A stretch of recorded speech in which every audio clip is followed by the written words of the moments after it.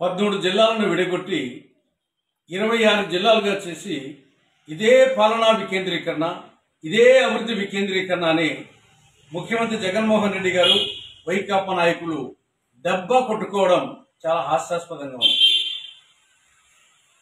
పద్మూడును ఇరవై ఆరుగా చేయడమే మొత్తం పాలనా వికేంద్రీకరణ అభివృద్ధి వికేంద్రీకరణ అయితే మొత్తం ఒక అసెంబ్లీ నియోజకవర్గాన్ని ఒక జిల్లా చేసి నూట డెబ్బై చేస్తే అది మరింత పాలనా వికేంద్రీకరణ అభివృద్ధి వికేంద్రీకరణ అనిపించుకుంటున్నా అది కాదు పాలనా వికేంద్రీకరణ అంటే.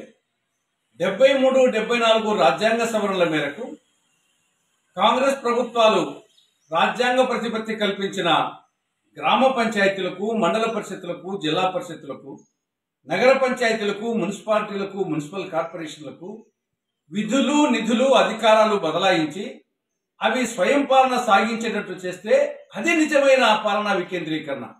అలా కాకుండా స్థానిక సంస్థలను నిర్వీర్యం చేసి సర్పంచులు మిగతా స్థానిక ప్రభుత్వాల ప్రతినిధులను ఉత్సవ విగ్రహాలుగా మేకపోతులకు గారకాయలుగా ఆరవ వేలుగా చేసి ఇది పాలనా వికేంద్రీకరణ అంటే ఎలా?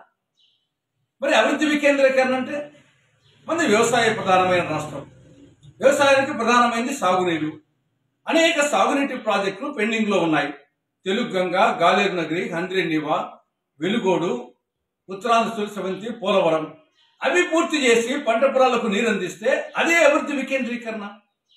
కేంద్రంతో పోరాడి ప్రత్యేక హోదా సాధించి ప్రతి జిల్లాలో పరిశ్రమలు స్థాపించే అదే అభివృద్ధి వికేంద్రీకరణ. అవి చేయకుండా పద్మూడు జిల్లాలను ఇరవై ఆరు చేసి ఇదే అభివృద్ధి వికేంద్రీకరణ ఇదే పాలనా వికేంద్రీకరణ అని డబ్బా కొట్టుకోవడం ఇది హాస్యాస్పదం. ఇది ఎలా ఉందంటే ఒక్క మాటలో చెప్పాలంటే పంటి నొప్పికి తుంటి మీద తన్నినట్లుంది జగన్ పాలన.